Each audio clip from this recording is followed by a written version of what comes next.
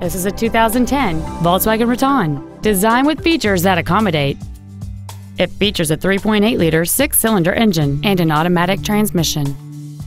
Its top features include power adjustable driver pedals, cruise control, a rear window defroster, a leather wrapped shift knob, alloy wheels, 12 volt power outlets, a low tire pressure indicator, an anti lock braking system, a keyless entry system, and this vehicle has fewer than 14,000 miles on the odometer.